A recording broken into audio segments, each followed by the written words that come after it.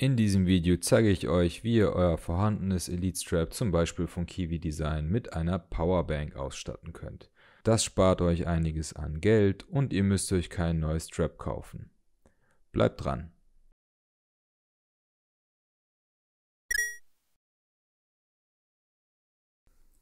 Für diese Battery-Modifikation braucht ihr folgende Utensilien. Eine Quest 2 mit einem Elite Strap irgendeinem Strap, wo hinten ein Bereich für den Kopf ist, wo man eine Powerbank dran machen kann. Einfach hier so etwas reicht nicht, beziehungsweise da werdet ihr die Powerbank nicht gut befestigen können. Es muss einen Bereich wie hier oder wie hier geben, wo man die Batterie dran machen kann. Eine Powerbank. Die sollte klein sein, die wird oft als Mini-Powerbank vertrieben. Ähm, 10.000 mA sind das jetzt hier. Und wie ihr eben schon gesehen habt, passt die hier super. Sie kann natürlich auch kleiner sein, aber wenn sie kleiner ist, hat man nochmal Schwierigkeiten, die festzumachen. Die könnte noch ein bisschen dünner sein auf jeden Fall, aber einige, also mit einer großen würdet ihr auch bestimmt zurechtkommen, aber ich fand die jetzt optimal. 10.000 mA ist ungefähr die doppelte Menge von der Quest 2 und die hat nochmal eben dafür gesorgt, dass man die Zeit verdreifachen kann, um die Quest 2 nutzen zu können. Dann braucht ihr selbstklebende Klettverschlüsse. Ne, die halten hier zusammen und sind an beiden Seiten beklebbar bzw. selbstklebend. Und ihr braucht so Kabelbinder, Klettkabelbinder, ich bevorzuge welche, die man hier durchschlaufen kann, aber es kann auch jede andere Form von Kabelbinder sein. Und ein Kabel, am besten mit angewinkeltem C-Stecker, USB-C, damit man diese an, die, an die Powerbank ähm, machen kann. Äh, an die Powerbank. Hier wird, kommt die an die Powerbank. Ja, Fokus und an der Seite an die Quest und die sollte angewinkelt sein, damit sie schön an der Quest 2 entlang geht und nicht so leicht rausfällt. Das sind 50 cm und das reicht auch vollkommen aus.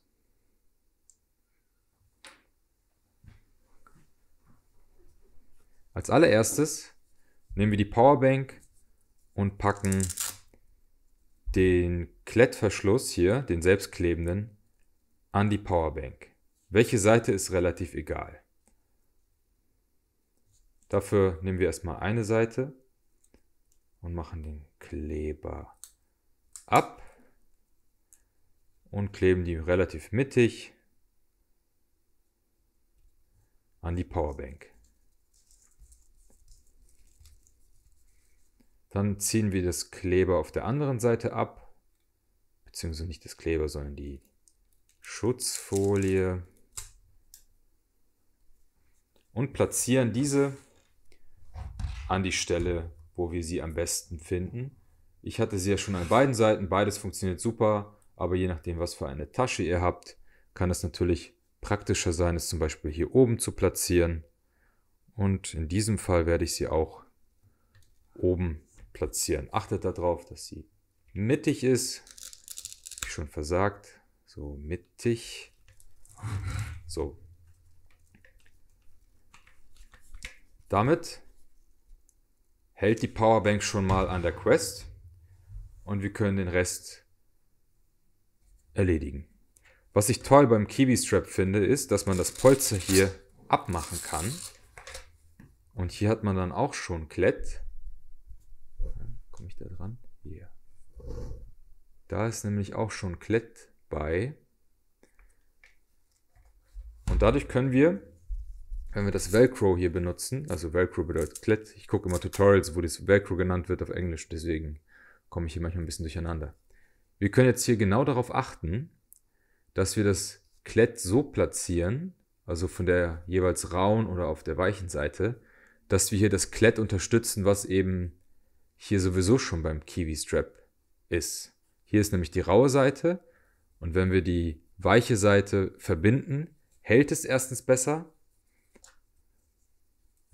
wir fehlen das hier hinter einfach.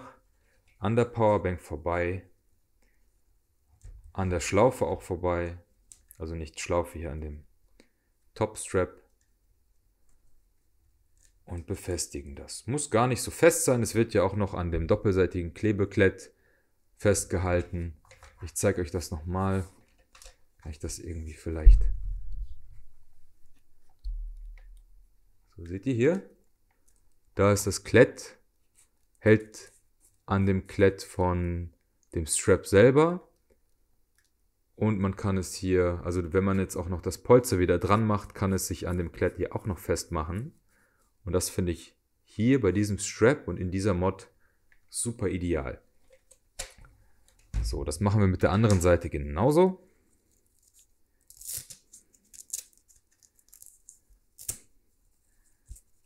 So, weiche Seite an das Klett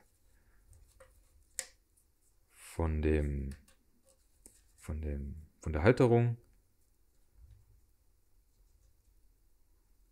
Und dann befestigen wir das Ganze. So, und jetzt wird es eben von beiden Seiten festgehalten, damit es hier nicht wegrutschen kann. Das Klett an, unter der Powerbank hält das Ganze am Platz. Und jetzt können wir, damit es hier natürlich nicht irgendwie nervig ist, weil das ist bei anderen Straps immer der Fall. Wenn man da natürlich Klett drum macht oder einen Kabelbinder, dann habt ihr den am Hinterkopf. Hier in diesem Fall kann ich das Polster einfach, ich zeige euch das am besten so, so. Das Polster kann hier einfach wieder dran, über das Klett, über den Klettkabelbinder und dann ist es für uns auch gar nicht mehr zu spüren. Es ist einfach verschwunden. Ja, kann man machen. Nimmt hier natürlich Gewicht nach hinten, dadurch ist die Frontlastigkeit der Quest ausgeglichen. Super gut, meiner Meinung nach. Wenn ihr euch wundert, das ist einfach nur der Clip von der Rift S, den ich über hatte.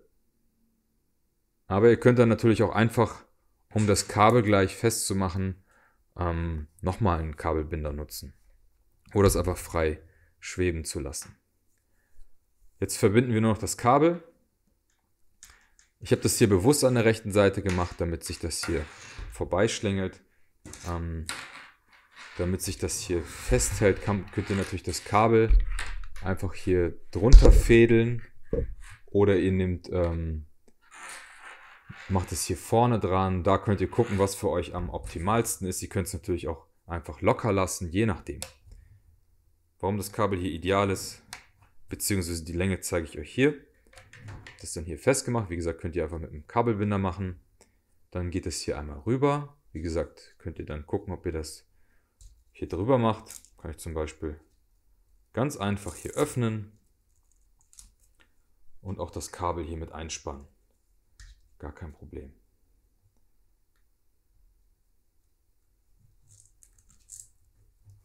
So.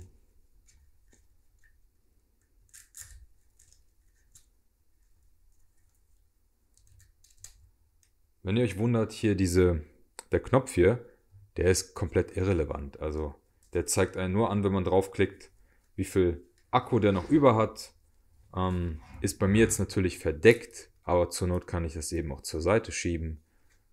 Gar kein Problem. So, und jetzt kann man die einfach hier mit einem kleinen Knick, aber keinen harten Knick, ne, ein leichter Bogen, sollte dem Kabel aber nicht schaden. Dann habt ihr das Ganze hier schön fest, das Kabel stört nicht. Ich kann das hier öffnen, ich kann das hier weit genug auseinanderziehen. So komplett auseinandergezogen, das Kabel hat jetzt eine leichte Spannung, wobei Spannung kann man das nicht nennen. Ist auf jeden Fall locker genug, um es komplett auszuziehen. Gar kein Problem. Meiner Meinung nach die kostengünstigste Mod, wenn man nicht sowieso schon einen, einen Battery Strap hat, wie das Elite Strap mit Battery oder das neue Bobo VR M2 Pro, was jetzt irgendwie bald kommt. Aber wenn ihr das Kiwi Strap habt oder es euch holen wollt oder überlegt, okay, ich will zwar das Kiwi Strap, aber mir fehlt da so eine Batterie. Das hier ist meiner Meinung nach einer der besten und kostengünstigsten Mods, die ihr euch basteln könnt. Wenn euch das gefallen hat, das Video, dann lasst doch gerne ein Like da, kommentiert, abonniert. Ihr kennt das ganze Prozedere. Und äh, ich hoffe, ich konnte euch helfen und wünsche euch noch einen schönen Tag und wir sehen uns. Ciao.